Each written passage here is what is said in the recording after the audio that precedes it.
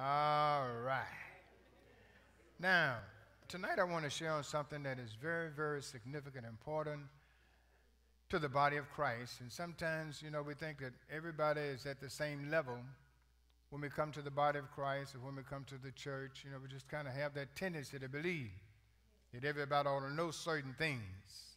And it's not necessarily so. Tell your neighbor, it's not necessarily so. So tonight I want to help us some.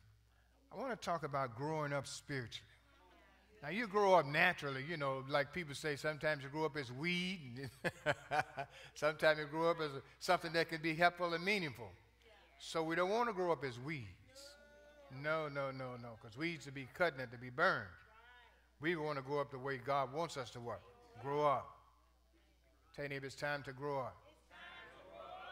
And it's sad that there is probably not one church you can go to that you don't see a lot of things that are out of order, are not in order, simply because the people have not been taught to mature in the church or the house of God, just like parents expect you to do where? At home. I mean, if you're a parent, you expect that child at some point in time to have some understanding about what he or she should do and not necessarily do things the wrong what? way. Amen. So growing up spiritually is a process that takes time. It's not something you just all of a sudden, hey, I'm mature. No, no. I don't want to get ahead of myself.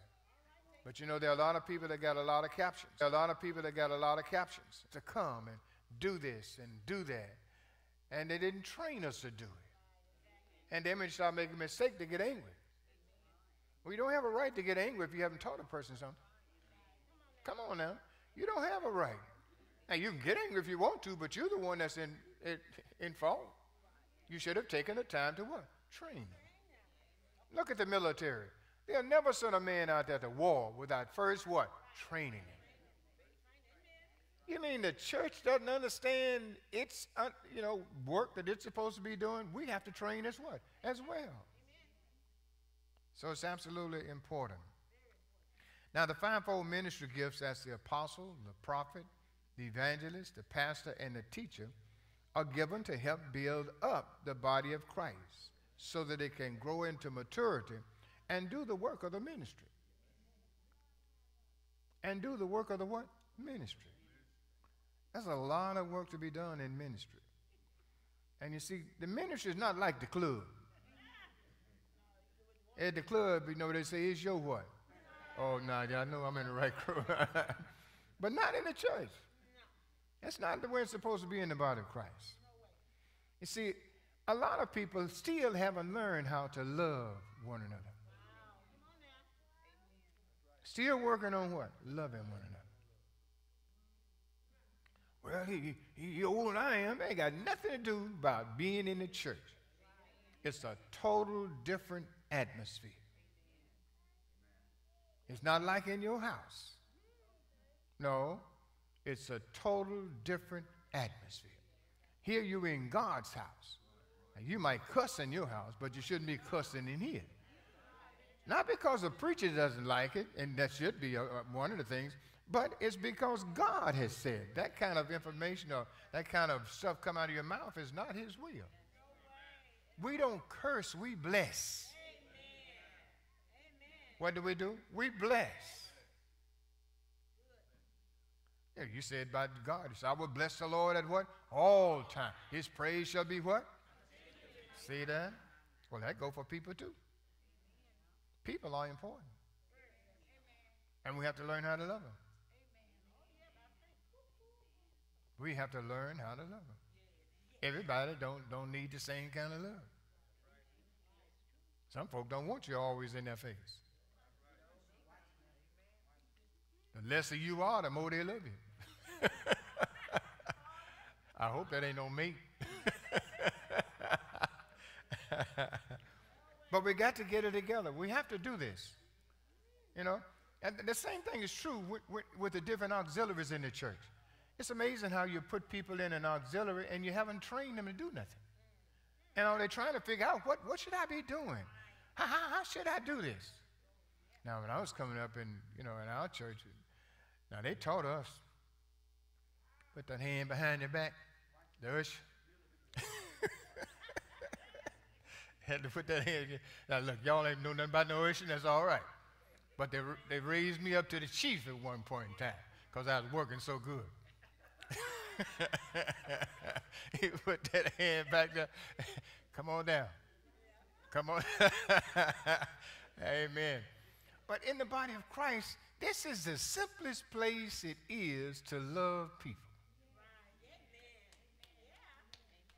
But the world has made it that the club is the simplest place to love people. And the reason is they're all high. hey man, you my mama, brother? I know you. See, that's that stuff talk. man. that, that, that, ain't, that ain't the real deal. That's that stuff talk. But in the body of Christ, it should be our spirits that are speaking to people. You might have differences with people because of something that might have gone on in the past. But the Bible says what? Casting down imaginations and every high thing that exalts itself. Where? And doing what? Bringing into captivity every thought into the obedience of Christ. Some, some, some of the folk that might have taken your sweet thing or show up in church and you've been enjoying service all the while. Woo, hallelujah. And they say, whoop. There he is. There she is. No, no, no, no, no. Forgetting those things that are what? Behind us. If that person had been yours, they'd have stayed with you. Hallelujah. You got to say them, that's all right. Amen. They'll stay with you. But some people, you know, when they join you, just for a little while. Till they get themselves together, and then they G O N E. So that's why you need to check them out. Check them out thoroughly. Amen, amen, amen. And then sometimes that's not enough anyway. And stop asking other folk about them because sometimes folk want you to be in as much trouble as they're going through. They having hell at their house. They believe you ought to have some at your house. So, Yo, yeah, best person in the world. And then you get married. How come you didn't tell me? Well, you didn't ask me about that. So it's important that we do these things. That's what God wants us to what? Do. He wants us to have a happy life. When people come in, it shouldn't be some facade. It should be a genuine smile. It should be a genuine smile. And in a genuine what? Embrace. You love the people. Now, when you were unsaved, now you were in the club, you know, you drunk, you'd be happy anyway. You don't forget you when you're high. You, well, y'all know about that. But you're under the influence, you, you know, everybody looks good. and everybody's your friend, you know. But in the body of Christ, we don't have to get high on that stuff. We high on the Lord. So at the same time, we still have the same attitude. Everybody looks good and everybody's nice. Oh, Jesus, this, is the right group. Oh, come on. So it, it's just God's will. See, just as a person starts as a babe in the natural realm and grows to adult, the same thing happens in the church, in the body of Christ. He might be 99. If he's just born again, what is he? A babe. Now, you're going to still be treating him like a 99 but you should be treating them as. Now, I don't mean belittling them, but I mean doing so much for them until they just get overwhelmed. They know that you love them because if you didn't, you wouldn't be doing the things that you do for them. Right, listen. You, you, you got to be taught how to win. There to be some people that come in here and you might be usher or you might be doing something else, and especially if you're an usher. And they might have taken your sweet thing. You might have been wanting to marry that person and they got it. I ain't going over there. She'll get a seat. She'll have to find it for herself. No. See, that's how you that's how you break the chains of the enemy off of your life. When you go and do something for somebody that has done something wrong to you, it says something in the kingdom of God. Amen. You can sing the song, but you will not be defeated. But if you don't do what God's word says, you are going to be defeated. Not because God wants you to be defeated, but because you haven't done what the word says. The word says, James said, But be ye doers of the word and not hearers only, for they that hear only deceive themselves. And you don't want to be what? Self deceived. We don't come here to lose, we come to win. We're a winner. Whatever goes on, we still win. You win if you keep your chest out and your chin up. You know, keep looking like you're winning. Don't be looking like you're down and out. Amen. The Bible says, why we look not at the things that are seen, but at the things that are not seen. Look at the reality of the thing. I win either way it goes. Look at your neighbor. Say, I win either way it goes. Amen. And especially, especially in the helps ministries. Especially. See, because they're the people that meet everybody first. And then we're the ones next, especially you all, they sit beside you. And some people, when they sit beside you, if you had a little issue with them, you turn your back to them. That's the time. See, that's how that devil has been, he, has been zapping the strength and the power out of the church because the church still acting like the club. You know when you're at the club and you had the table set up and somebody came and sat there and you know that you got a little issue with them, they don't get one of them glasses. You know, because you bought that, uh, you know, you, you bought that little the field for the paint or whatever it was you got. You bought that and you ain't willing to what? Share. Look at you looking at me strange. You know what I'm talking about. You ain't always been in church. And if you were there, you were still slipping and sliding, peeping and hiding, been told a long time ago. so we just got to get real for God. Get real for God. So people can learn they, they really are loved. You don't know some people come out of some houses, so much hell been on that house, the devil didn't have to stop. He was scared to go in there. and they come here and meet hell too, and you think they want to get saved, want to get delivered? Ain't no way. From what? If y'all got all them problems, why I want to get like y'all? I don't mean to get okay. So it's important. As I shared you, just like a person starts as a babe in the natural realm and grows into manhood or adulthood, the same is true spiritually. But we just we, we hadn't been doing it like we're supposed to. And sometimes auxiliaries can get too, in too big a hurry and pull people in. And you never had an opportunity to see whether or not they do have the consistency. Uh, they do have, you know, it, it's a smile often and not a smile for certain people. It's a hug often and not a hug for certain people. I mean, I mean, see, we, we have to learn how to love. You remember the story about the man who took the parrot to the church after he had gotten saved? See, before he got saved, he took the, the, the parrot to the club. And the parrot was doing his thing when they got the rock and the parrot rocking. Go right ahead. Go right ahead. Is that our song? Is that our song? well, when the you know the man got saved, he took the parrot to the church with him. And uh, you know, the, when the band kicked up,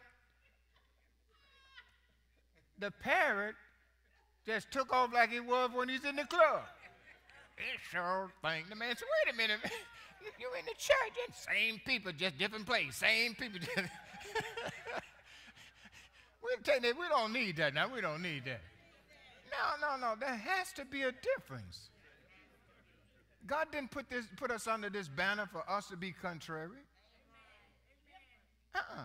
And, and, there will be times when people will come and want to sit beside you, and you've had some issues with them in the past, or maybe you got still some problems, because some people don't turn things loose real fast.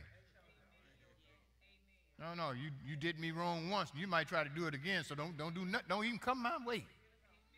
But that's not God. The Bible says, when a man or woman's ways please God, he will make even their enemies to be at peace with them. It's a dangerous thing when you touch the hands. Uh-uh. If, if, if you, you, got to understand how special you are. And the enemy wants to whop us to get us in a position where God can't do what he wants to do. I don't know, I've been praying, I've been praying, I've been fasting, I've been reading my Bible, and I've been doing this and doing that, and I still ain't got no breakthrough. We don't break through. We receive. What, what are you breaking through? Walls? I'd like to see that. It's still in the walls. If you break that with your head, I pay you. and patch it myself. But see, God wants us to get in a position where we, we, there's so much love in us for God. For who? For God. The only reason you're not able to love other people because God is not loving in you. And you just can't love the folk you know. You got to reach out to other people. And everybody don't want you embracing them. You have to, that's why the Spirit of God has to talk to you. Maybe it's a handshake. Maybe it's just a kind word. Oh, I like that that you have on. It looks so nice, you know. It does, yeah. You just you just open the door. But the church is one of the most unloving places in the world. The church is. And we, we're the one that say we got love. And we do, but we just hadn't understood that we got to drop some stuff. We have to drop it. A lot of the prayers that people have prayed have not been stopped by the devil. Stopped by the people. Does not the word of God say, if any two of you on earth shall agree as touching anything that they shall ask, it shall. Shall is one of the strongest verbs in the English language. It shall be done for them by my Father, which is where? Wait a minute now. Has God lied? Well, what's happening? It's so difficult to get two, I mean, husband and wife. You're not going for. Because you always got issues. Issues going on. And he says, A house divided against itself cannot stand. God never created or invented divorce. Hmm. If you remember the, the, the, pledge that you make you say, until death do us depart. And some folk die and they ain't dead. they died and they ain't dead. You know, they, they still they still alive, but they ain't got the one they started with. Now don't get under condemnation because you had to let somebody go. Might have been better because you might have shot him, and it was better to stay, get yourself together. But you got to understand. You got to understand, unless you just married to get out the house. Now you're out the house, you're trying to just find everything you can find. No, that's not God's will. Mm-mm.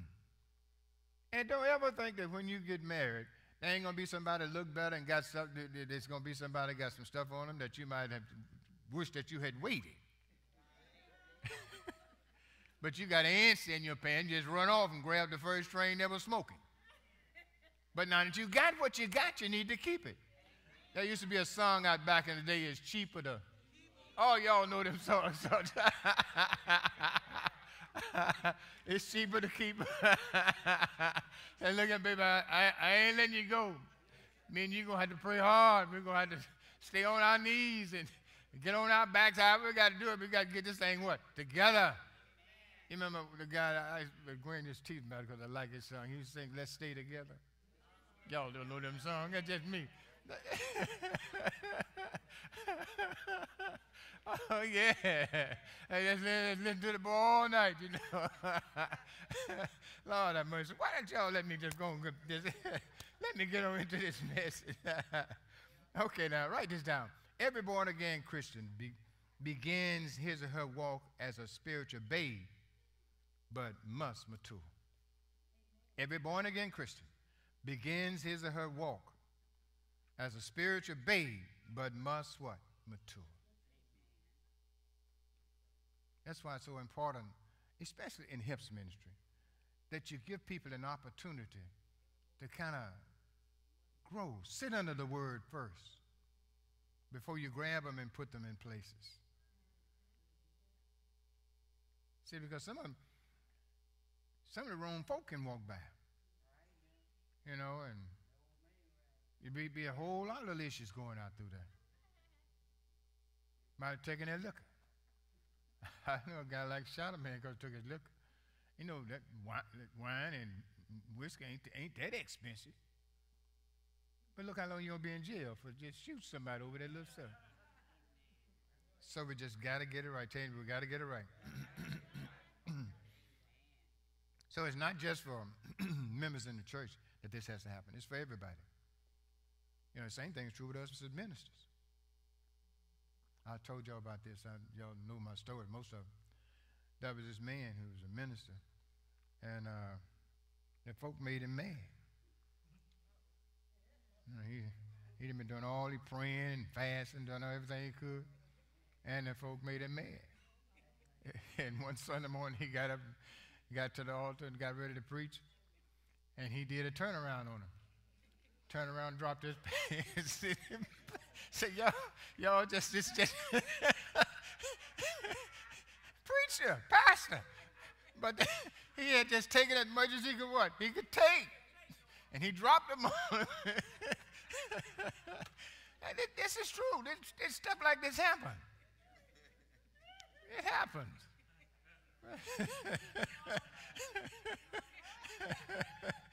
so you have to watch how you treat these ministers and other folks. it might take your picture.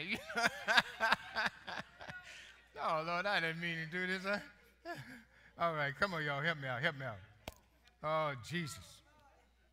The fivefold ministry gifts are given to the body of Christ to help us to mature and to grow spiritually. Turn with me to Ephesians chapter 4. Amen. it's important that we be taught, though. You know, and some people just feel like, well, I don't, and you have to go over there, you have to go to school. No, it's not going to school. We just want to try and help make sure that you're excellent in what you what? Do.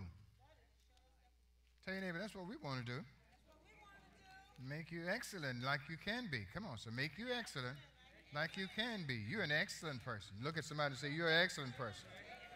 In Jesus' name. Are you found Ephesians chapter 4 yet? Ephesians chapter 4. you, there, you there? Look at verse 11. We're going down. Verse 15. He says, And he gave some apostles, and some prophets, and some evangelists, and some pastors and teachers for the perfecting of the saints. See that? What was the rationale? Now, the Amplified says right there, he says, uh, his intention, excuse me, was for perfecting and the full equipping of the saints, his consecrated people, that they should do the works of ministering toward building up Christ's body, the church. Building up. What would happen if every person who walks through that door would meet a pleasant smile, a warm handshake, a warm hug, a real soft voice. Yeah, it doesn't always have to be a man or have a woman. I mean, you, there, there's a voice you can help people to kind of just mellow down just a little bit so that'd be easy for them to come into a place. You know, there's a way to do it. You know, you did it in the club. And you were in the club, if you were one of the members of the club, you had a way of helping them to come in because you wanted them to be a member that way that club. Well, we just got to take our time. Tell you, we got to take our time. Look at somebody say, go take our time. Look at it again now. Uh, let me go back there to verse 11. He says in the Amplified, He who descended, right there, is the very same as he also has what? Ascended high above all the what? Heavens. Are you there? Wait, wait, I'm sorry, I'm at 10. I'm sorry, I'm at 10, verse 11. And he and his gifts were varied. He himself appointed and gave men to us. Some to be what? Special messengers. Some people what? Inspired preachers and expounders. And some what? Evangelists or preachers of the what? Gospel. Traveling what? Missionaries. Some what? Pastors. Shepherds of his what? Flock. And what? Now, his intention was for the perfecting and the full equipping of the what? His consecrated what? That they should do the work of ministering toward building up Christ's body, the what? The church. See what our purpose is?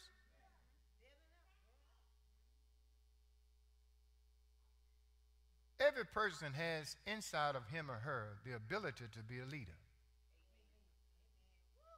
but because something happened down the road. Maybe they might have been disrespected or turned off. And they don't feel like they have the ability or have whatever it takes to help other people to come up to where they are or even get better than they are. We're not in competition.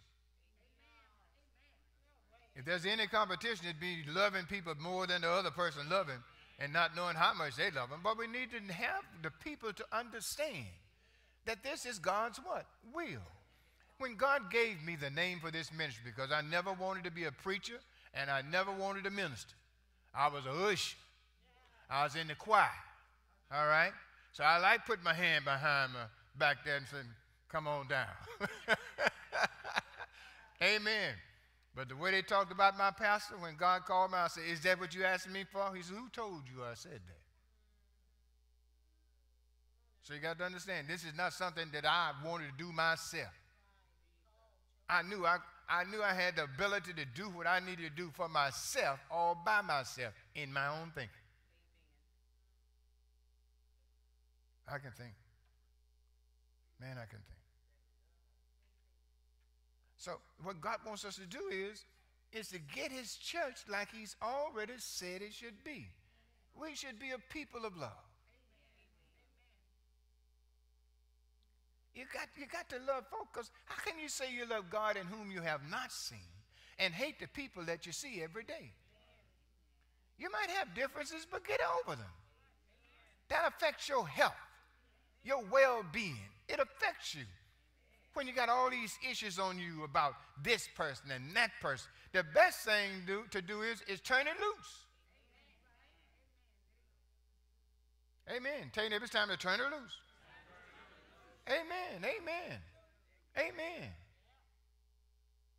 Well, be like the song, if loving you is wrong, I don't want to do right. Yes, you want to do right. Tell you if you want to do right. All right, come on back now. Let's look at verse 12 again. Are you there? He said his intention was the perfecting and the full equipping of the what? Saints. Look what he calls them. Amplified. His consecrated what? People. That's who we are. Listen, that they should do the works of ministering toward building up Christ's body, the church. So all of God's efforts, as far as he's concerned, where the members are concerned, is building other people up. And you can't build nobody up until you get what? Built up. So we have to first start working on our what? Self. And one of the ways to do that is by praying in the Holy Spirit. But then there are a lot of people in the body of Christ who say, them tongues are of the devil. I don't know how they got that information. Unless you heard the devil trying to speak in tongues. And he does have some gibbish. He does have some gibbish. But what we speak is natural. There is a language that when you're speaking in tongues, there is a language of a people. You might not know where they are, where they come from, but there is a language of a people or a group that speaks the language that you speak. You call it tongues, but it's their native tongue. So it's no gibbish. It's a language. It can be understood. And somebody in the world somewhere knows that language. Oh, they're speaking a language. Yeah. But we do it how? In love. How do we do it? In love. Tell your neighbors how we do it? Amen, amen, amen. You remember what the Apostle Paul said? When I was a child, what did he say he did? I spake as a child. I understood as a what? But when I became a man, what did he say I do? I put away childish things. Doesn't mean you can't have fun, you know, tease each other in a nice way, or, you know, but you still have to remember we are always in a position to be a blessing to somebody else. And sometimes blessing is just smiling. Some people can be around mean folks so long they ain't had a smile all day. Even the dog barked at them, the cat, wow! And here you are, and you give them a smile, a handshake, and give them a word that your blessing is it's on its way. And they know the only way you could have known that is that God had to inspire it in your heart so that it can come out of your what? Mouth. Amen. And when we start doing that, things will change in the body of Christ. It'll help your own health. It'll help you. Amen. I mean, you, you, a lot of the challenges that other people have, you won't have them. It's not because you're better than they are, but because you're doing what they're not doing.